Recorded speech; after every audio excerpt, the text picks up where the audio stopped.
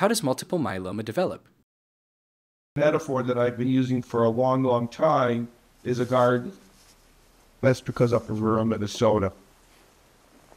Your bone marrow functionally is a garden. Three major crops in the garden.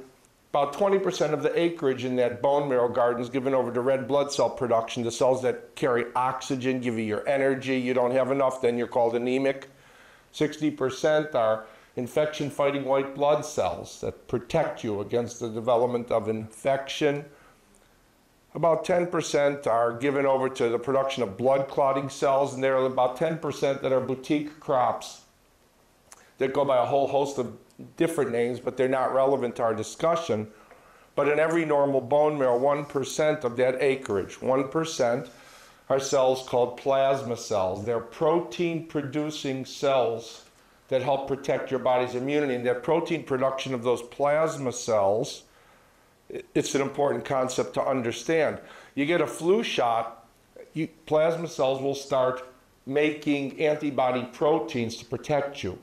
You skin your knee when you're four, you're going to have a plasma cell making antibodies to the exposed contaminants. So that's normal. And if you look at the bone marrow in those proportions 60, 20, 10, and plasma cells 1, that's what it is at age 4, 14, 24, 84. Those proportions are very, very tightly controlled. No variation.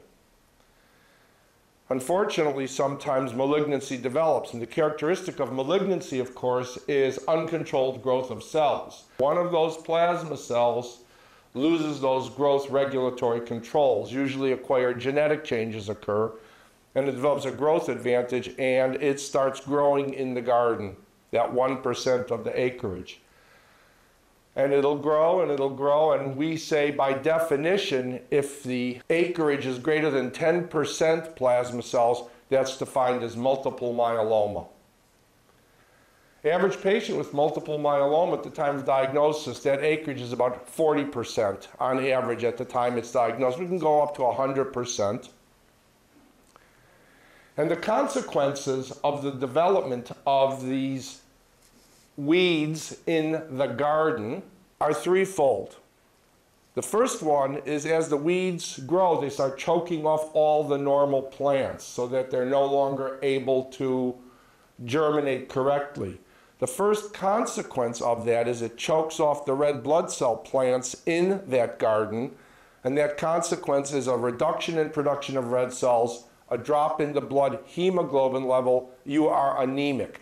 So for some patients, 70% at the time of diagnosis, weak, tired, exertional, shortness of breath, can't climb the stairs anymore, and the evaluation to the doctors, I'm anemic. Number two, is that these weeds don't just stay in the garden. They actually begin to erode into the casing of the garden. Well, what's the casing of the garden I'm talking about? Well, that's the surrounding bone. You go to the supermarket to get a bone for soup, you know the bone's made out of two separate parts. There's a thick outer white shell on the bone, which allows you to actually jump on the bone, you wouldn't break it. And then, then there's that kind of spongy core that's kind of brown and kind of webby. And that, of course, is the bone marrow. And in a freshly slaughtered animal, it's bright red because it's the same color as blood because that's where the blood is produced. And what ends up happening as these weeds grow, they'll begin to invade the casing, that cortical bone, and start to dissolve and damage it. And that weakens the bone because as you know, bone is, is rock hard, but clusters of myeloma cells actually have the consistency of raw liver. And so you replace bone with raw liver, that bone is weaker. And what will happen is, particularly in bones that are under a lot of weight stress, which is spine and ribs, they're prone to fracture.